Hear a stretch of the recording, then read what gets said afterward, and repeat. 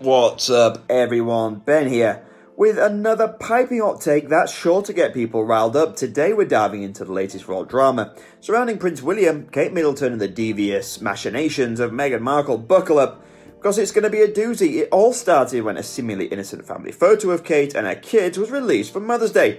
How sweet, right? Well, wrong. This was anything but an innocent family portrait. Within hours, major photo agencies pulling the picture left and right over fears it had been doctored and manipulated. Photoshop abuses, potential AI trickery. This thing had more red flags than a communist rally. And who was the sinister puppet master behind this? You guessed it, the one and only Meghan. This woman is so desperate to stick it to the royals that she'll stoop to any low. Now, I know you guys are excited to hear more about this, but before we move on to any further details, I'd like to thank you for your enormous love and support. And if you haven't subscribed to the channel yet, guys, what are you waiting for? Hit the subscribe button now and don't forget to press the all important bell icon, guys. Let's get started. So, speaking of morbid fascination, wait until you hear Prince William's take on the whole mess. Dude is absolutely incandescent with fury right now. Apparently, he fired the editor who manipulated Kate's photo and he's basically out for blood against Meghan.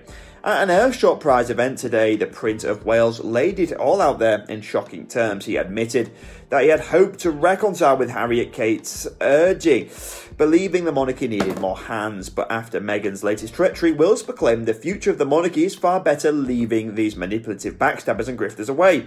Those are seriously fighting words. William didn't mince matters either, declaring, I won't have mercy on backstabbers at all, and vowing to no longer tolerate anything from the duplicitous duo. You could practically see the smoke coming from his ears as he rallied against being in the critical decade for environmental issues while being undermined at every turn.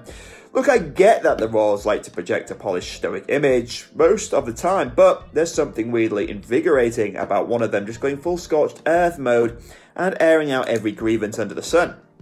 Of course, not everyone feels that way. Kate, ever the peacemaker, tried to smooth things over by falling on her sword and taking the blame for the photo fiasco. She issued an apology, admitting she experiments with editing as an amateur photographer and hoping her Mother's Day post didn't cause confusion. Oh, how noble of her. Clearly, Kate was just trying to make amends and avoid dragging out another brutal PR war with the Sussexes. The poor woman has been out of the limelight recovering from abdominal surgery since January. So she probably figured it was the path of least resistance. But you know what? I'm siding with Prince William's white hot rage on this one. There's just no reasoning or reconciling with a malicious hustler like Meghan.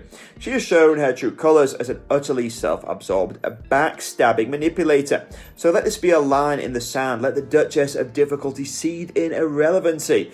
The British monarchy doesn't need her infecting the royal ranks. They're better off cutting out her envious growth before it can metastasize any further. William said he has to focus on supporting and developing solutions to enact real change. How can he possibly do that with Meghan lurking around every corner, ready to unleash the next devious plot? Now, this entire debacle proves once and for all that the only way to deal with Markle menace is to completely exorcise her from the royal orbit, send her and her hostage husband packing to Montecito. So, what will happen next in the Sussex saga? Only time will tell and I'll be back soon with more scalding hot tea. But before closing, you know the drill like and subscribe. Bye for now.